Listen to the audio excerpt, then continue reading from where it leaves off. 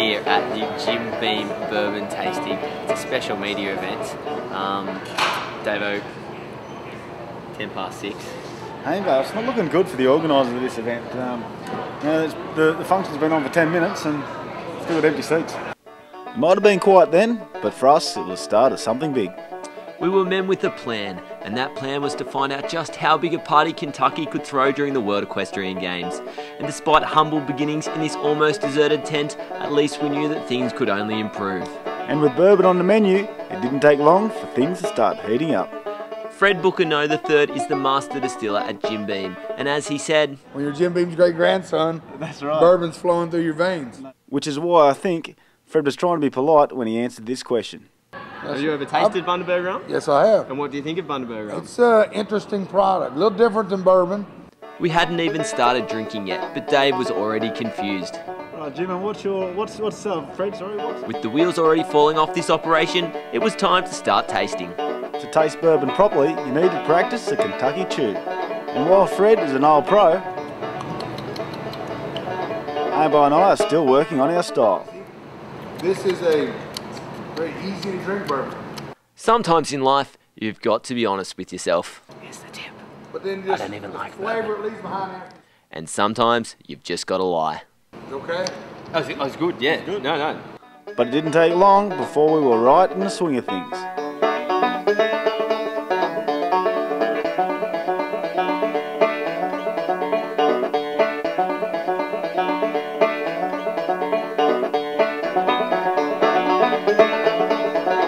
That's where Dave's from. Thank you.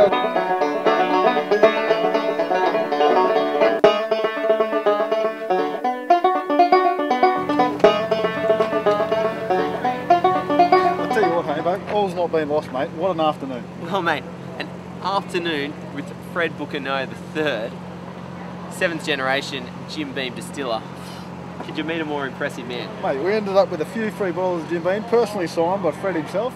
Amazing afternoon. What I can't understand though, Hambo, how come every time we go and drink, you always end up drinking fewer drinks than me? Mate, And mate, I'll tell you what, at a Jim Beam uh, tasting function, that's a very important thing. just remember, Dave, equestrian in Australia really does encourage the responsible drinking of alcohol. I have that in my mind all the time. Of course, by now Dave and I were in no state to drive, so we were forced to reverse our normal roles for our journey into Lexington. Good opportunity to Navigator. introduce Andrew Blow, our cameraman, producer. It was probably our fault, but in this part of the world, it pays to be on your guard as certain things can be lost in translation. Well, Hambo, here we are, mate. Uh, burger and chips, what do you reckon? There we bit of a language difficulty here. We ordered chips and we got chips. A little bit disappointed. A little bit to disappointed. reorder the fries. Out on the streets of Lexington, we quickly discovered where all the other equestrian journalists were hiding. Lexington was at its absolute partying best, and everyone in town was pretty stoked to be letting their hair down. There was no point standing on the outside, so Dave and I entered the fray. Let's hit it. Let's go. Dave managed to find a friend, There was no doubt about it, the people of Kentucky were having a ball. This is Great!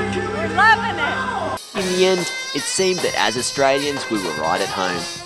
Fellas, Lexington, normally a pretty quiet town. How is it during the World Equestrian Games? Oh, it's wild as can be. It's like I feel like I'm in uh, Australia. I love Hamish and Dave from Australia, guys! Thank you very much. Welcome to Lexington! Wow, Davo! Here we are, the centre of Lexington, the square, in the middle of limestone and Main, and hasn't it been an amazing performance from this jazz band from New Orleans? Mate, Lexington has put on a serious show here. This is the second night of the World Equestrian Games. We are in for some great times here, mate. My God, this has just been phenomenal tonight. And the buzz about the people of Kentucky. I tell you what, I don't know whether they're all horse fans, but I tell you what, this is a better party than anything I've ever been to at a horse show in Australia. Mate, hold on to your hats. We are in for one hell of a ride. Absolutely, Davo. We love you guys. Can you, can we ever have sex with me?